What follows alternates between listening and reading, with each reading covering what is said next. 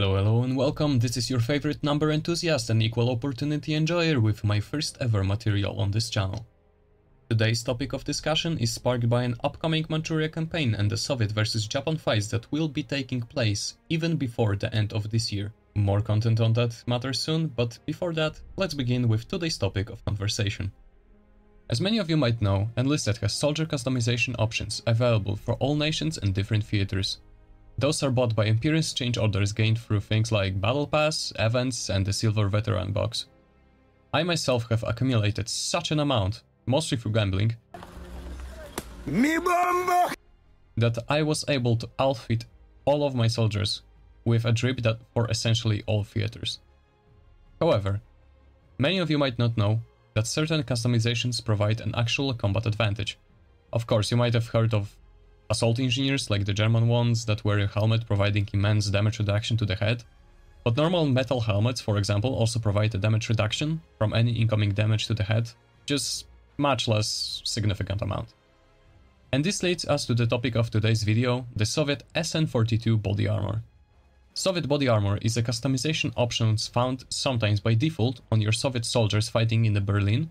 However, it is possible to be acquired for all theaters by all soldiers. And you might ask, Korsti, why is such a cosmetic important? Well, the body armor is more than just a cosmetic and actually provides a 10% damage reduction for all incoming damage to your torso.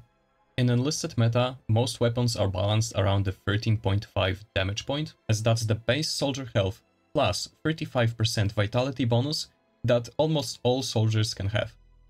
However, thanks to the existence of the body armor, Soviets, and Soviets only, can have 15 effective HP. This is because 15 damage is the lowest threshold that can be reduced by 10% and punch through the 15.5 soldier health that you get by default plus vitality perk. But Korsti, I still don't understand why it's important, it's just 10%. You see my friend, the thing is that the body armor is fucking stupid. I wish I was exaggerating this statement, but having 15 effective HP in a game that's balanced around 13.5 is going to cause several problems. And it has been causing a lot of severe problems. Recently, I have created this document to have an actual mathematical proof that body armor is a bigger of an issue than many people think.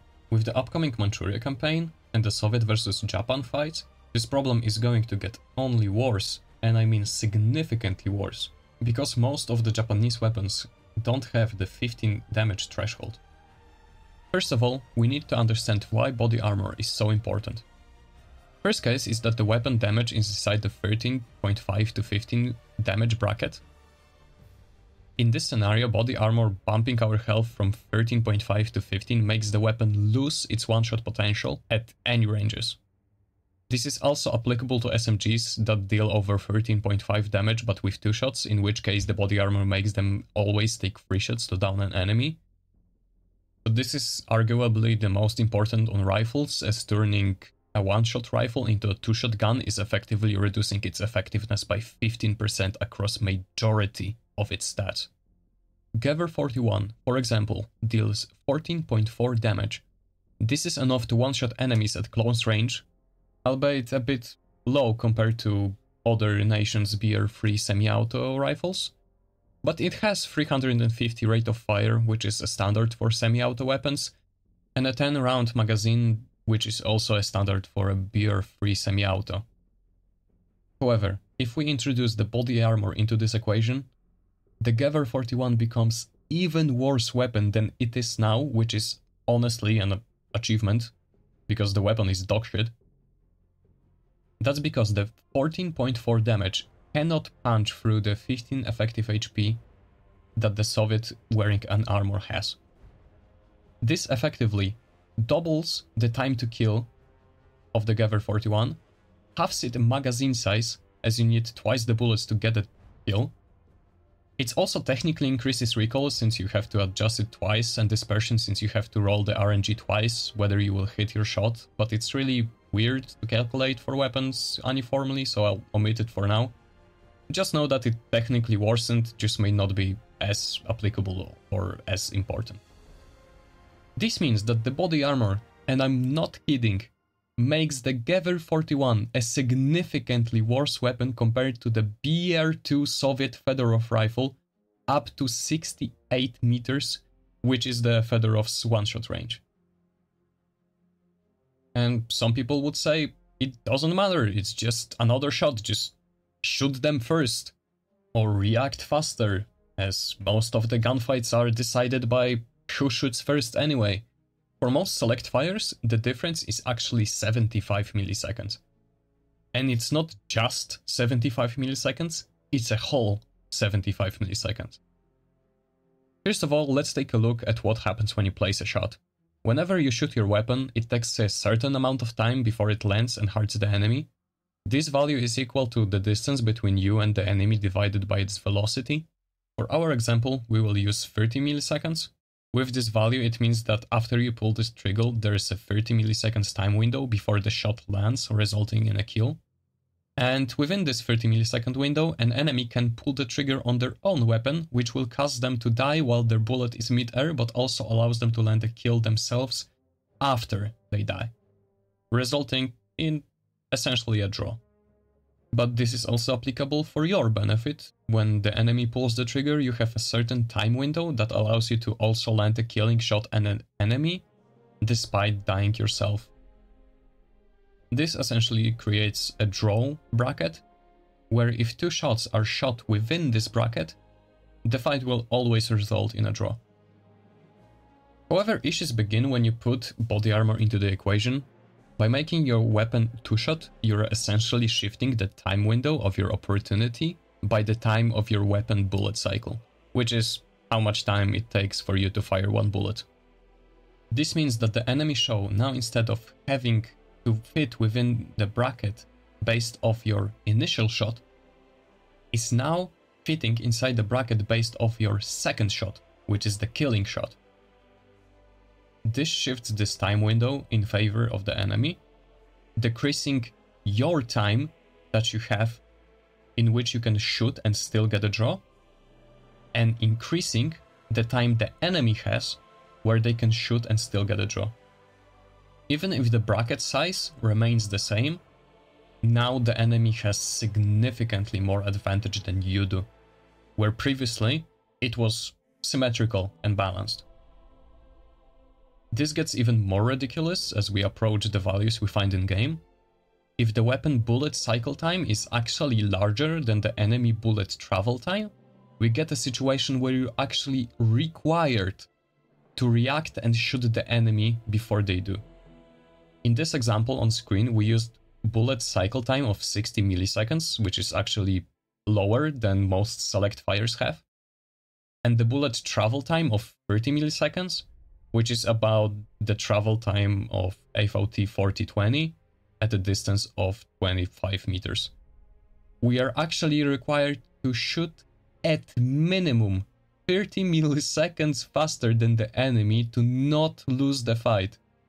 Reacting 20 milliseconds faster than the enemy results in a loss. To put long story short, essentially, the body armor shifts the time window you have where you can actually kill your opponent mutually in favor of your opponent linearly to your weapon cycle time. And some may ask, how many weapons does it affect that the devs still didn't do anything about it? Well, the answer is a goddamn lot. Especially now, Japanese weaponry will suffer immensely from having to face body armor seems most of them fall below the 15 damage threshold, while they normally would have certain one-shot range against normal opponents. German SMGs lose their CQC two-shot potential, making them always three-shot, and that's on top of that that they will always lose some of their effective three-shot range, putting them in the same damage bracket as PPS 43, that's entire gimmick is that it has higher rate of fire because it deals less damage. Furthermore, even some weaponry that still does punch through the 15 effective HP still suffers as their one-shot range gets reduced by a significant amount. FG42 goes from having 68 meter one-shot range that's typical for 20 round select fire rifles like AVT 40 and T20, to having only 17 meter one shot range. This leaves 48 meters of most common engage ranges where you are at a 72 millisecond disadvantage. For comparison, Type K Auto has one shot range of 21 meters while having 10 more bullets in the magazine and a better recoil and dispersion stat. Gewehr 41, as mentioned previously, loses its one shot range completely, making it worse than SVT 38 damage wise, while it also has 2 seconds longer reload. And now the best. The aforementioned Type K Auto loses its one shot potential completely, making it have 75 milliseconds disadvantage over AVT 4020, while effectively making it 15 round in its mag and 30 rounds total select fire, all up to 68 meter range where AVT 40 also becomes a two-shot select fire. And the best part is that all this benefit is given to a nation that already wields the strongest infantry weapons at battle rating 2, battle rating 3, and battle rating 5. All in all, the body armor decreases your time window to get a draw by 114 milliseconds on average. This is half of my reaction time, which is insane. I could be 50% slower and I would have beaten myself if only I hadn't equipped a cosmetic. There are indeed certain weapons where body armor does not matter, as they deal so much damage that they punch through the body armor at all the ranges essentially anyway. Too bad that most of the weapons are machine guns that are completely out of meta and assault rifles that are also completely out of meta, and only two assault rifles that really matter is the Fedorov Automat and the Scotti Naval Rifle, which both lose their one-shot potential when they're facing an armored opponent. Quite literally, the Scotti Naval Rifle becomes a 15 round hide just because someone equipped an cosmetic, which is honestly just ridiculous. All the exact information how body armor affects different weaponry in different ways, whether it's increasing their time to kill or whether it's decreasing their effective one-shot range, can be found in this document that I have created.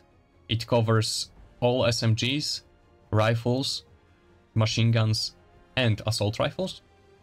I also included this section where it explores how body armor decreases the free shot range on the SMGs, as technically their two shot potential is very limited.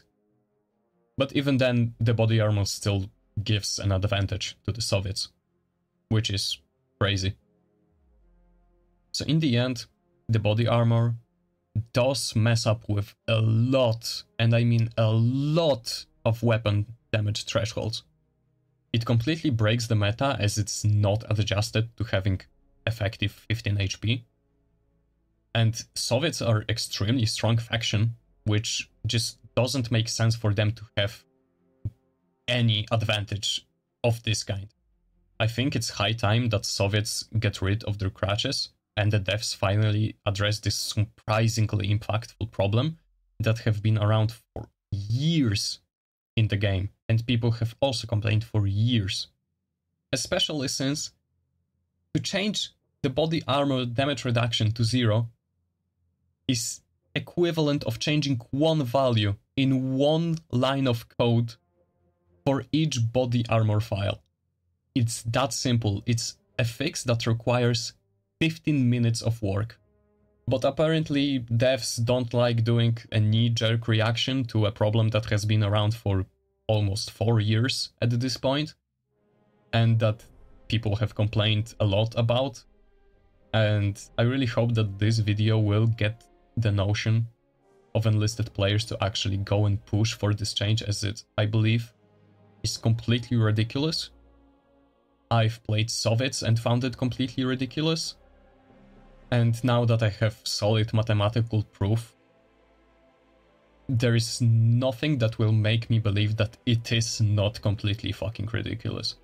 I'll be trying as hard as I can to raise as much awareness as possible and push for this change as hard as possible.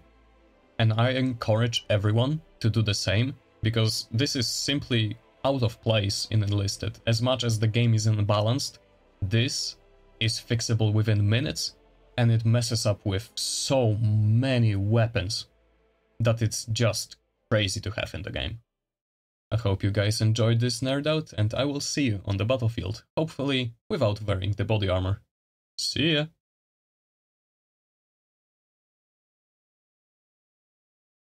It's so sad Steve Jobs died of Ligma. Who the hell is Steve Jobs? Ligma balls.